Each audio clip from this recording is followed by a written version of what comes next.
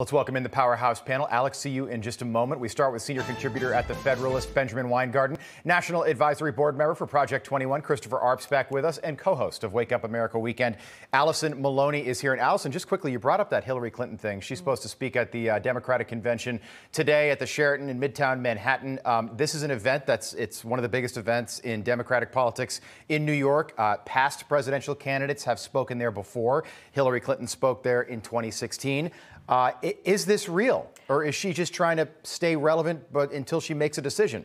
You know, I, I, think it could be real because we've seen her in the media a lot more. She kind of was silent for a while, and over the last couple of months, she's been doing interviews, she's been doing podcasts. Now she's spe- supposed to speak, so it's interesting. I don't know if this is the Democrats' only choice, but look, with this whole Durham uh, investigation, who knows if that's going to maybe change her mind? We'll see. She's obviously not really answering any questions, neither is the White House. And then you saw on Twitter she attacked, uh, obviously, everyone who is saying that, you know, look, we need to look into this, she's saying, well, this is just not true. Yeah, yeah, it's interesting. I think it could be a perfect storm for Hillary Clinton if she if she decides to somehow get into the race in 2024. But if you think about it, the Clintons, you know, her husband, the former president, uh, he, he's the comeback kid, but he's been lying to us for the last 30 years. He lied to us as a candidate for, for governor and then a candidate for president.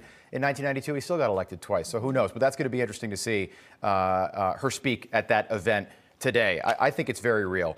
Um, Joe Biden, by the way, Benjamin, he's going to be in Ohio today trying to drum up support for Build Back Better. Uh, but I think it's pretty clear that the American people aren't really concerned with spending another uh, trillion dollars. Um, according to a, a, Morning Consult Quinnipiac poll, the most important issues facing the American people right now inflation, runaway number one, 27%, immigration came in second for the first time. Immigration starting to move up uh, uh, the poll at 12%, COVID number 10.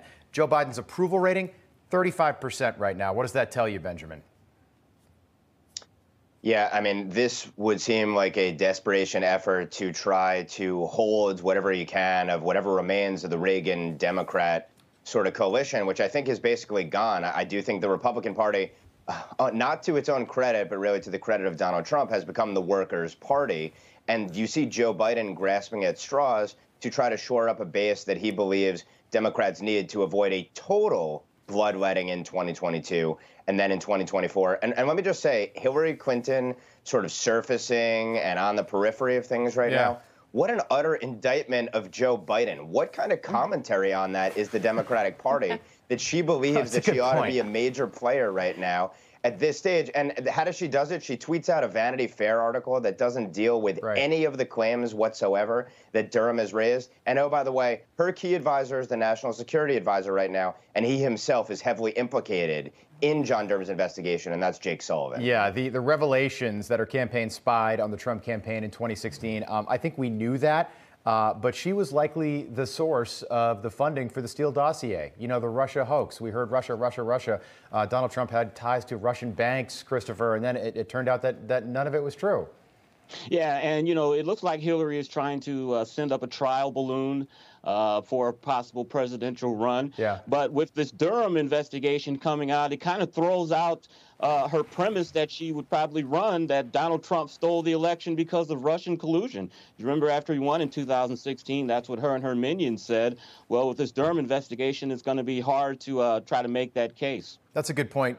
Allison, when I look at that Quinnipiac poll, Inflation being number one at 27%. The last time inflation was number one, coincidentally, 1980, when the American people turned away from Jimmy Carter and his politics mm-hmm. and elected Ronald Reagan. And that welcomed in 12 years of Republicans in the White House, Reagan twice, and then H.W. Uh, Bush once. Uh, gas prices one year ago today, national average, according to Gas Buddy, 251 a gallon. Today, 351 a gallon. That's the national average. So it's a full dollar more. That's 40%.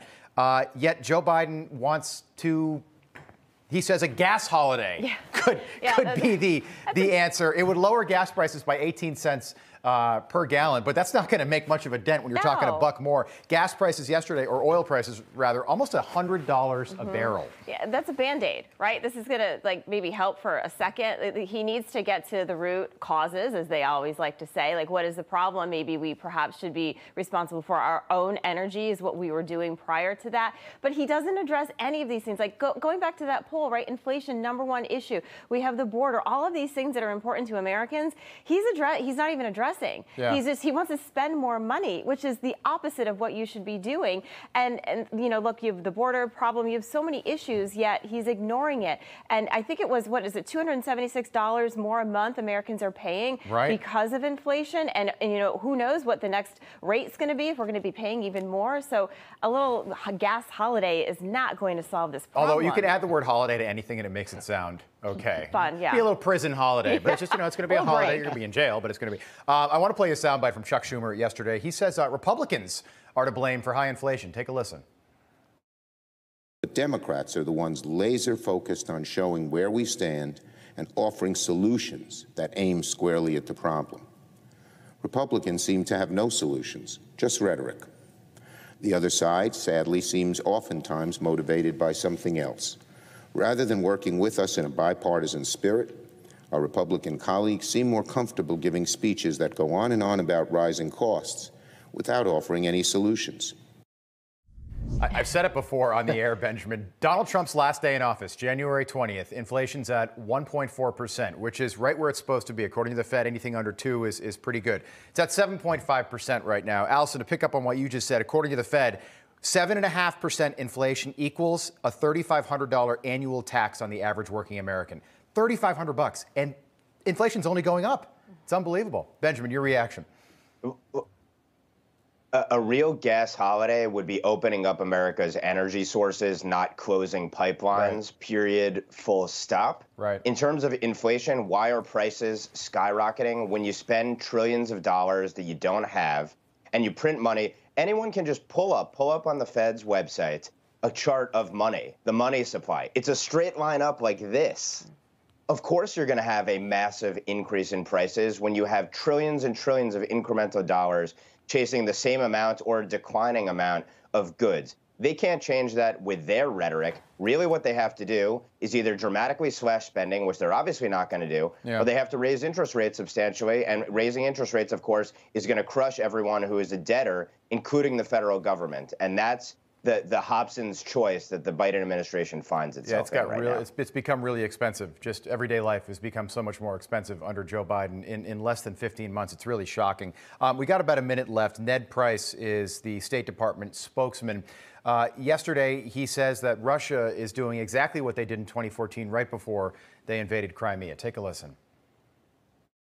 The Russians uh, are want to point to a fabricated pretext uh, before undertaking aggression. Uh, it's precisely what they did uh, in 2014 in Ukraine. Uh, these claims of genocide have haunting echoes of what we heard in 2014 uh, regarding the persecution of Russian speakers uh, in eastern Ukraine and Crimea.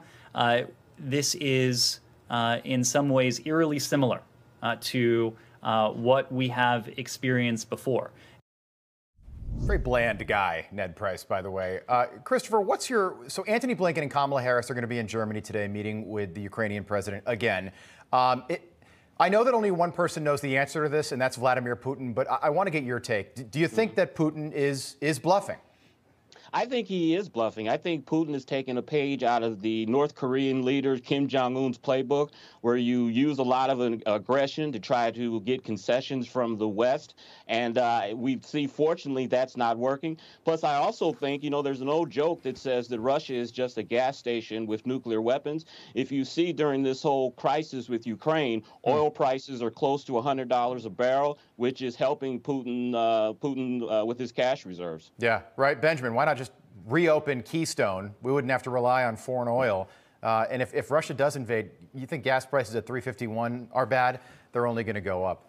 Um, panel, a lot more to talk about this morning, uh, including Virginia Governor Glenn Youngkin, who says masks are now illegal, and he just signed a bill into law. Of course, you can still wear a mask, your child can still wear a mask, but uh, that can't be mandated in the state of Virginia. Will other states follow? It's a big question. Um, all right, panel, we'll get into that at the, uh, at the top of the hour. Looking forward to it. Benjamin, Chris, Allison, see you soon.